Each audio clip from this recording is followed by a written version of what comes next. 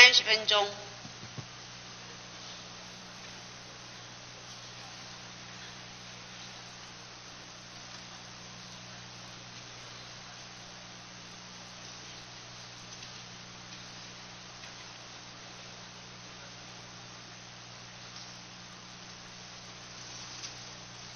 请陈院长。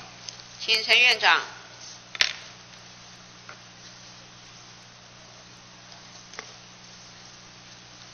蔡委员你好。陈院长，NCC 委员陈元林就职三个月，闪电请辞。你们行政院周周有报点，这个是这一周的报点吗？他为什么请辞？那个跟蔡委员报告哈。在前几个礼拜的时候，陈委员就提出来这个事情，因为他因为个人和家庭的因素哈，他跟石石主任委员请辞。那石主任委员跟他再三的慰留，跟他再三的恳谈哈，他执意很坚定。我们认为内情不单纯，事有蹊跷。呃，内情其实就是他他所讲他这个。难道院长你不用负责吗？啊？难道院长你不用负责吗？当时为了陈元林，社会上有那么多资源的浪费，立法院。发生那么多的激辩争辩，同时延宕 NCC 的投票作业，就是为了陈元林。当时陈院长坚持行政院绝不撤换、不换人。今天陈延林三个月闪电请辞，院长你难道不应该道歉吗？呃，我我想跟蔡委员报告哈，其实当时来讲哦，陈委员陈月玲小姐哈，她其实是一个非常优秀的一个很有能力的一位女士哈。她，你看她主要看她过去任职的外外商企业，晓得都是一流的公司。他只有一张简历而已，一一流的上市公司。一张简历我们告诉你，他是一个私募基金创投的老板娘，哈。不是，那个他 NCC 是主管电信传播，哎，哈的产业。那这个私募基金的老板娘跟这个 NCC 的委员没有利益上的冲突吗？难道不用利益回避吗？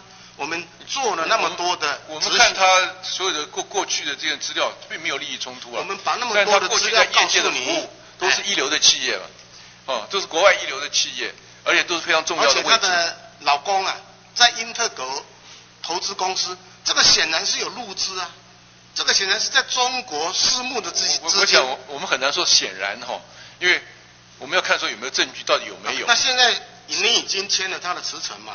啊，显然他只任职两个多月，不到三个月嘛。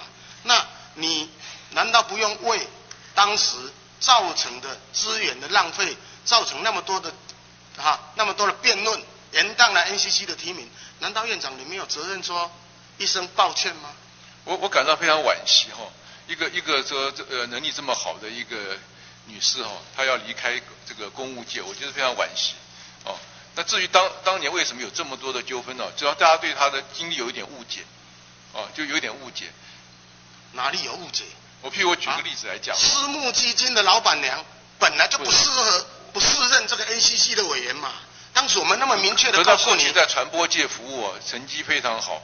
他是 Discovery Channel 在台湾的总经理，做了五年。哦。当时我们质疑说他是有为了某种任务而来，啊，或者是他为了。他的夫婿或许有任何的并购、生意上的任务而来，我们当时有这样质疑过啊。事实证明没有。那他现在请辞，事实证明没有啊。是未报还是没有？啊？嗯。那是他已经完成任务了呢，还是他踩了红线？我们可以看出来，那为什么他要有任何的三个月要请辞？当时不计回忆，硬着头皮就是要投票，要当 NCC 委员。那三个月就辞掉，我们认为是有蹊跷啊。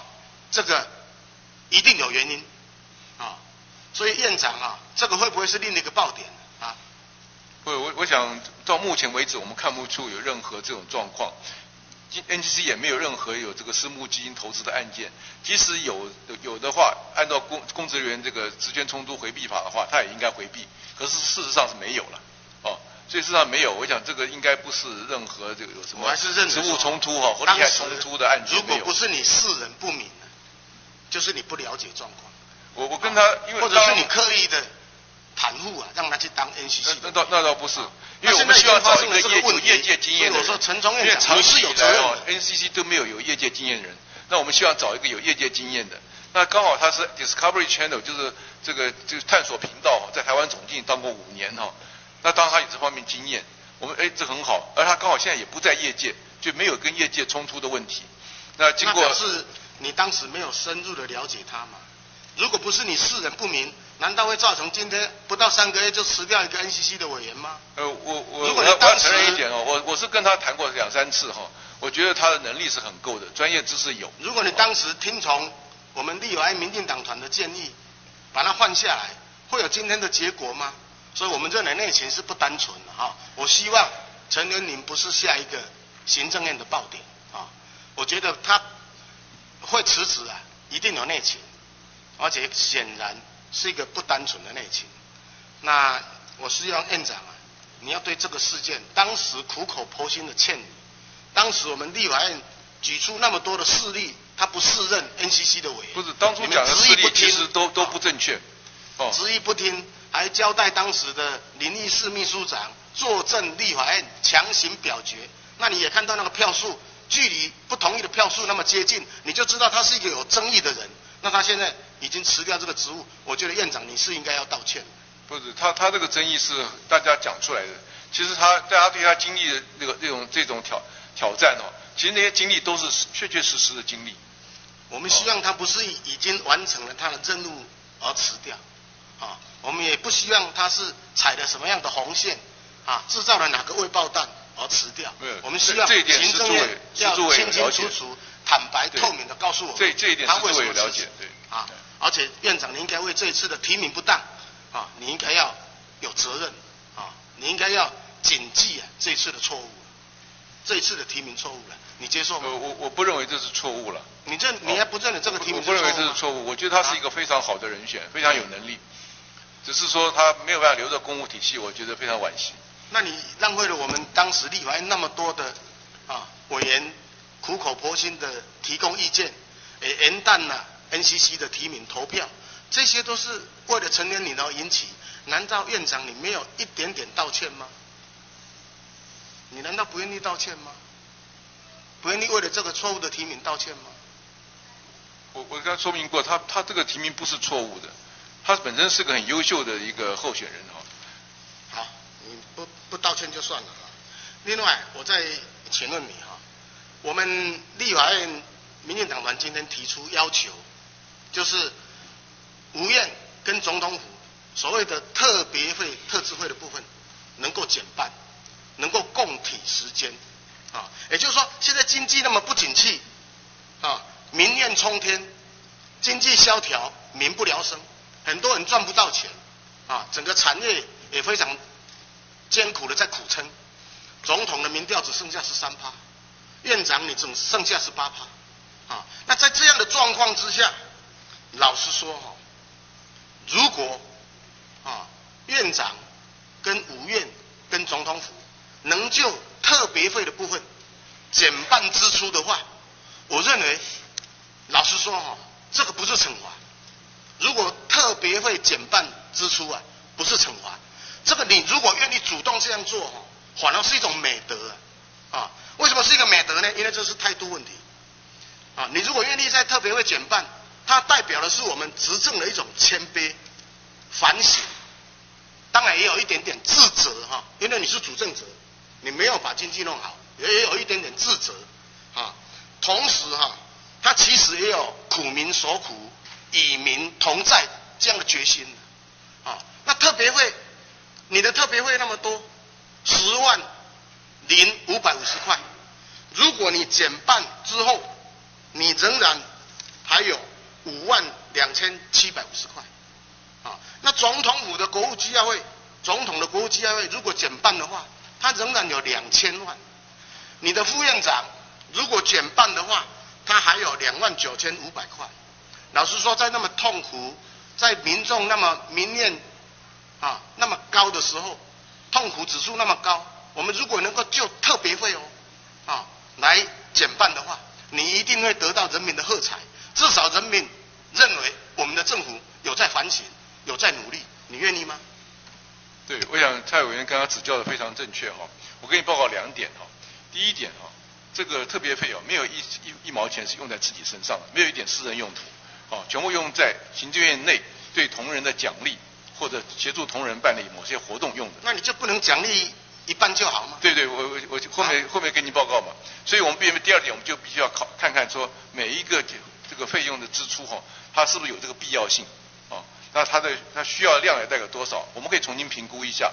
但最后我要报告一点哈，特别费本身不是我个人的事情，是因为说它这个附表里面啊，所有政府机关的，包括五院的啊，这些人都都在里面。只要行政院带头做起，哎，我认为其他三四个人都会跟进。我我我个人说，如果说我减半，我我都没有问没有没有问题。你愿意减半吗？我我没有问题。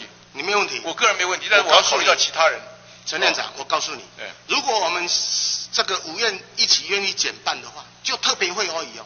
好，还有总统府的国务机要会可以减半的话，还有你的行政机要会有九百万，你如果愿意减半的话，这些都是不是市政的必须啊？那不叫行政机要费。如果这些都业务联系费，那个那个是我也跟你报告，也没有一文钱用在自己身上。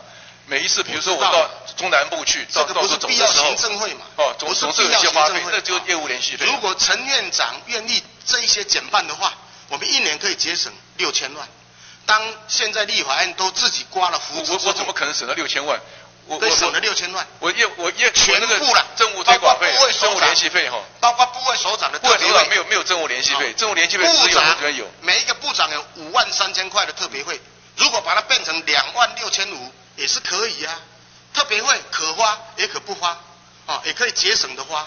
如果这一些通通能减半的话，我我那我们可以节省六千万。我们可以把我我们用的用途哈，很很老实的跟各位报告，我们来检验一下它的必要性。我来告诉陈院长，对，全世界各个国家你看一下，全世界各个国家，包括意大利的总统，他一上任之后啊，意大利没有总统啊，意大利的首诶总理，他上任之后叫，蒙蒂，他自己。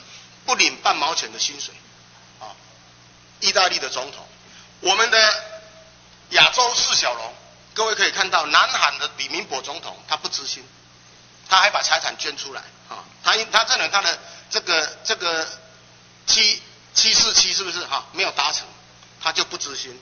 另外，新加坡的李显龙，他自己减了薪水三十六趴。法国的奥兰德他减了三十趴，日本的野田佳彦他自己减少三十趴，啊，连爱尔兰的总理肯尼都减少五十趴，啊，连那个法国，呃呃马拉维哦，连那个非洲的马拉维哈，他们都自己减薪减了三十趴，全世界的各国的领袖，他们自动减薪，为的是什么？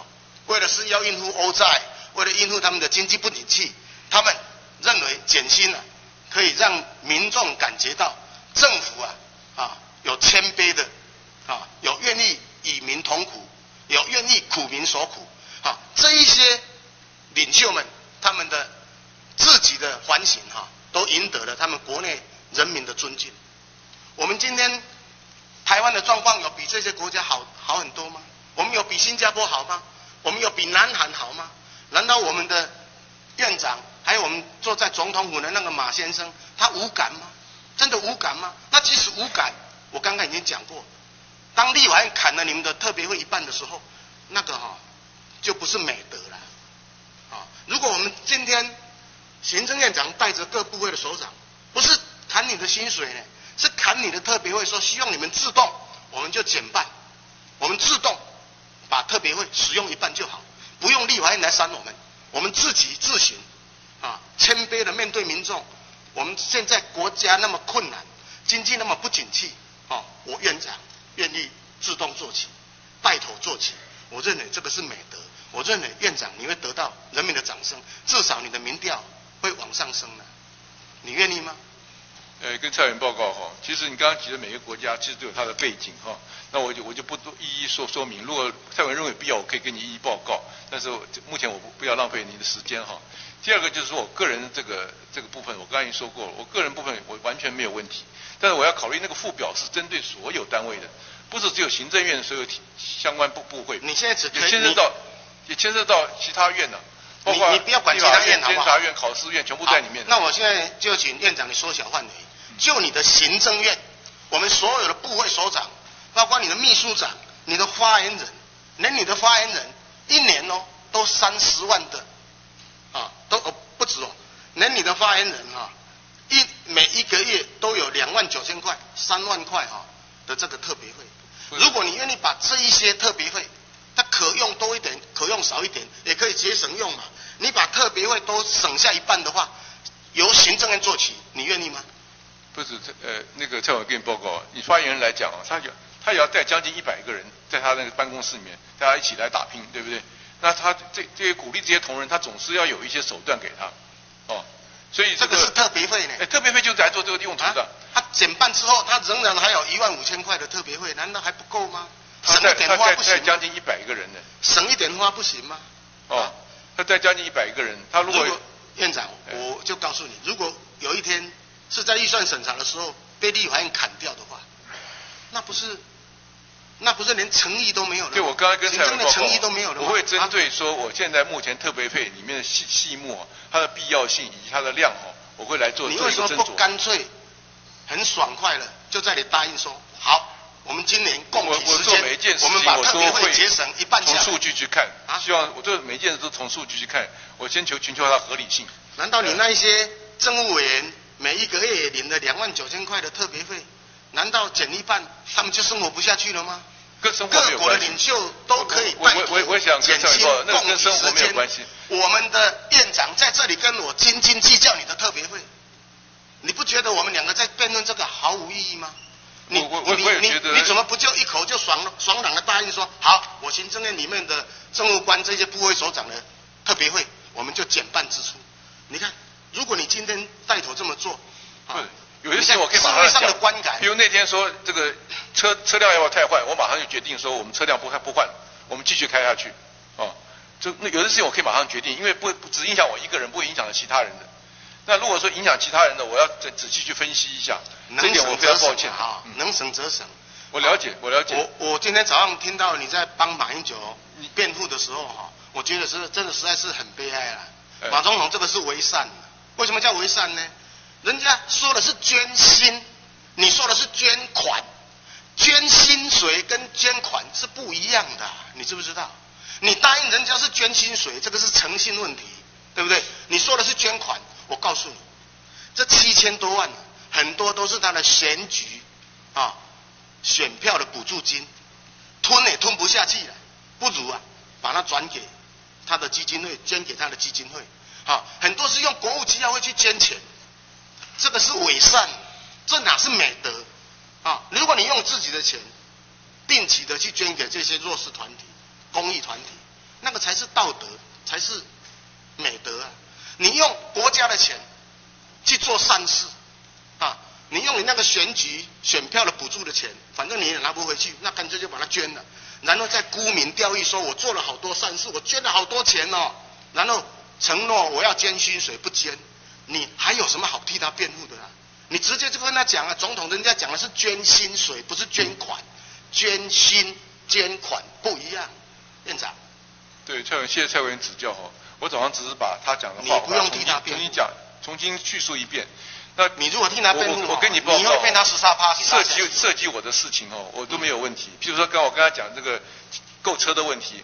我一我一听到，大大家觉得对对购车这个事情好，我了解，我马上去找副院长和秘书长三个人决定，三个车都不要换，哦，这因为影响面有限。院长，你真的是没有什么跟我自己有关的敏感度，没有问题，嗯，你真的没有什么政治的敏感度了，没有政治现实。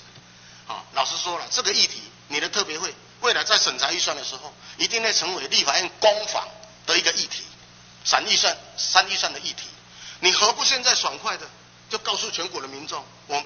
行政院跟人民站在一起，共体时间，不是要你的年终奖金呢，不是要你的薪水减少呢，只是要你的特别会少花一点。哎，全世界很多国家首长没有特别会呢，啊，人家没有特别会、特支会，人家也在当院院当总理，也在当总统。那我们只要求你减半支出，你就不做不到。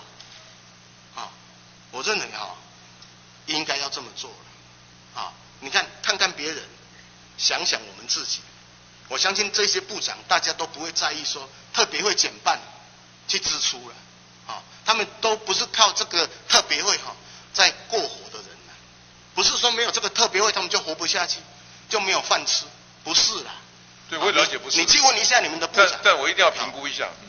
好，你去问一下你们的部长，看院长，看有哪一个人说不愿意，你去问，每一个都会愿意的。啊，阿辉吼爱插头前啦，香吼爱插头香啦。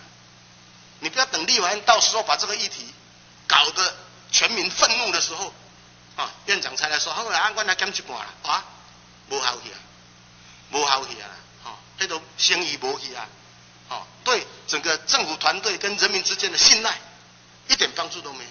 如果你现在能答应的话，由你主动做起，到时这个议题啊，反而变成民众称颂行政院院长陈冲有苦民所苦，有与民同在。的那种决心啊，要不要？最后一次机会要不要？不是我刚才有说我会去评估这个事情，因为我这不是我个人的事嘛。我个人的事，我我是那天也讲过，我一毛钱都不要都可以啊，不是我个人的事嘛。你可以代表行政院的，你你只代表你的行政院，你不要管监察院、考试院。蔡文，你只要看说上你处理用用车的事情就晓得，两三个人事情我马上就决定了，就是说这这个我们不要换车了，马上就决决定。你今天但是这是影响到。跨院的事情，特别会减半，嗯，不是你的薪水，不是你的年终奖金，啊，只有特别会减半。我知道，我知道。你们都看好意，我非常了解，我也非常感谢。立法院，你看多少个立法委员，他们为了砍掉八十六万，啊，他们也是为了社会观感，为了供体时间，他们也忍受下来。很多的立委哈，在选区里面有很多服务处。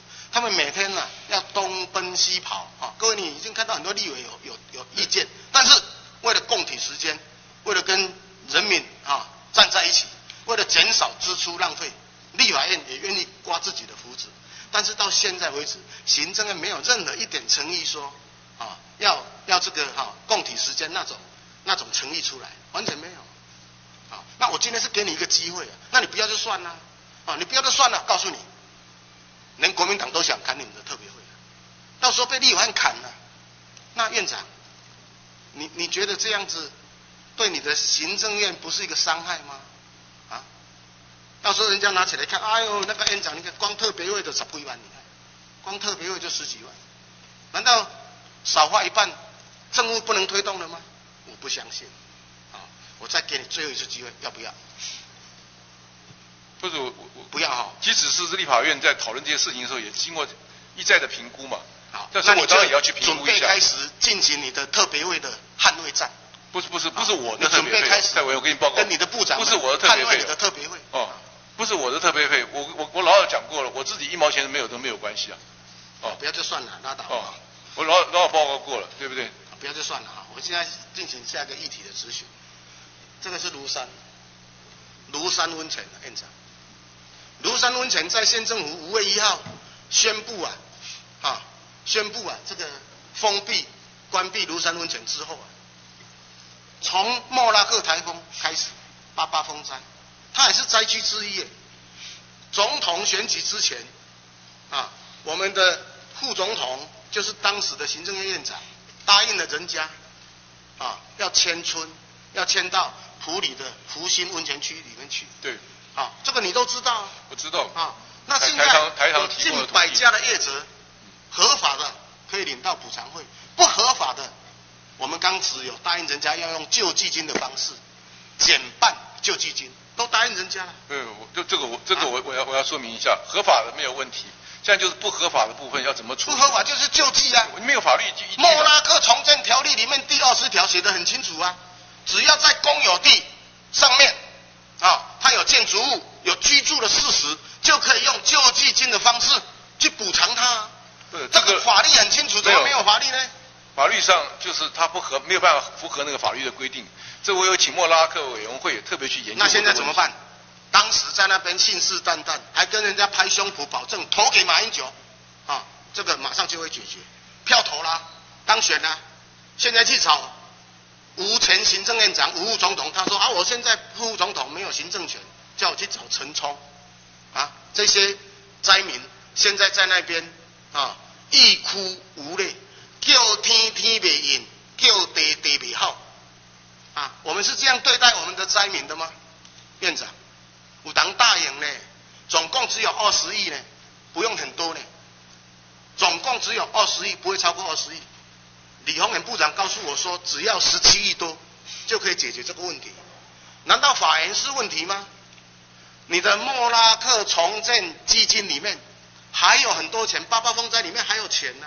为什么你要让这个一百户的灾民在那边啊，在那边真的实在是欲哭无泪，一时不能啊？院长，你要怎么帮帮我们？如蔡委员非常清楚哈，第一，它不是合法的建物哦。那如果非法建物，为了为了它的安全，那你选钱就不要从弄人地方给它迁移。那至于说要救济金的部分，那当然就是说，第一看县政府有没有办法。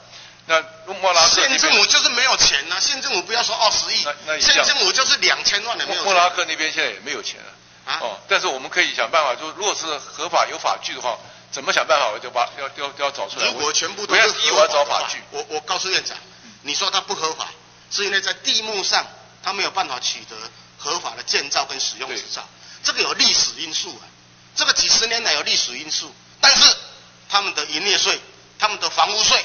没有一毛钱少缴过，也就是说，这几十年来，这些灾民他们的饭店、他们的民宿、他们的房子都有缴税，每一毛钱的税都没有少缴，同时他们也有开发票，好，这个等于是政府早就默认庐山温泉区的存在，同时因为它地目上是原住民保留地也很多，所以没有办法取得执照，同时当时。啊，整个测量图啊，啊，有有有问题，所以造成他们没有办法拿到执照。这个不是灾民的错啊，他们有的人在那边啊，不是一两年的，他们有的是没有中华民国政府的时候，他们的祖先就在那里啦。里面其中也有很多是原住民啊，我们难道不应该帮他吗，院长？我们要不要帮他们？这个案子我已经一再请各相关单位去寻找法据哈，那这个案子我们还没有就。目前为止哦，还在请各单位再再继续研究，看有没有法据。我尽量希望找到一个法据哦，能够让所有的工作同仁哦都不会有心理负担。因为大家都知道说，哎，我们来帮助一些县政府为了有问题的这些民众哦，县政府我们大家都很愿意，但主要找要要找找出法据出来。县政府哈，怕说未来又有台风又有豪雨来，在五月初啊，就抢着把它封闭到这个温泉区。现在已经封闭了。封闭了之后，这些人如果放弃了，那以后怎么办？如果不放弃了，又因为被封闭，又又又已经被封闭为不是温泉区了，没有人敢去了。做安的，嗯，做安的，然后每天都在开支，啊，又没有什么生意好做，你叫这些人怎么死？我们要有啊，我们要有苦民所苦啊，我们要站在民众的立场啊。啊，既然县政府。已经跟他们都协调好了，都协调好了，也都也都见价过了，啊，这个有证照的大概只有两家到三家而已了，就是有执照了哈，才三家而已了，百分之九十九都没有执照嘛，啊，没有执照他们有缴税啊，而且莫拉克重建条例里面也同意说，只要有居住的事实，啊，只要有房子，那就可以用救济的方式。所以院长现在是有法源，不是没有法源。呃，如如果有法据的话，老早这个事情处理掉了哦，就是因为法据不够嘛。那我我也我也报告过，就是说这个事情我们尽量还在在找法据，想办法解释说这个事情是可以做的，还在努力当中了。我告诉院长，都没有在努力，都没有在努力，他就是要让他任他们哈自生自灭了啊，最好就是房子赶快倒掉了，那么人赶快跑出来了哈，那政府拢无代志啊。这千万唔袂当安尼做啊！咱政府是有信用的，咱当时选举前，哦，有去当协调，叫人来开会，而且已经都见价了，而且特别的是告诉人家说，投给马英九，投给吴敦。我我想这不要把选举连在一起。啊，这个真的我我们做这个事情啊，就是希望说，真的跟选举了解民众的他困难在哪里，我们希望尽量来帮忙。对，跟跟选举无关了。啊，真的跟选举有关系，因为当时我们的候选人叫。吴啊，敦义先生有去跟人家承诺啊，这这个我要投给投给这个国民党。蔡委员那天如果在场听到的话，可能你你比较了解，我我没有在场。你当然没有在场了，但是我就告诉你，现在这些民众哈，一百多家、一百多户的民众啊，是怨气冲天。他们认为政府骗了他们，他们缴了那么多税，他们也曾经创造了庐山温泉的经济啊，他们也曾经是南投观光的火车头，他们曾经努力过啊。那我们今天政府啊，就一张纸关闭了庐山温泉区，就拍拍手了事了吗？不可以这个样子啊！不，庐山温泉区的关闭是因为安全理由哎。安全的即使县政府不去关闭，他们同意啊，也应该把它停下来。他们都同意说好了，既然要关闭的话，他们同意啊。而且其实一半的补偿对他们只是杯水车薪而已啊，也只是一点点而已啊。但是政府不能言而无信，好不好，院长？我请你在努力的，我们现在还在努力当中了。我请你在努力的解决，好不好？那我一个要求了，院长，你常常都下乡，你每个礼拜都下乡，你能不能下乡到庐山温泉看看我们那些灾民，可不可以？可不可以？我求你，可不可以？这个是我们孙大川主也去过，然后李鸿源部长也去过，江会长也去过。你去好不好？啊，你去好不好？我我会做适当的安排。好，你去了好不好？反正你都。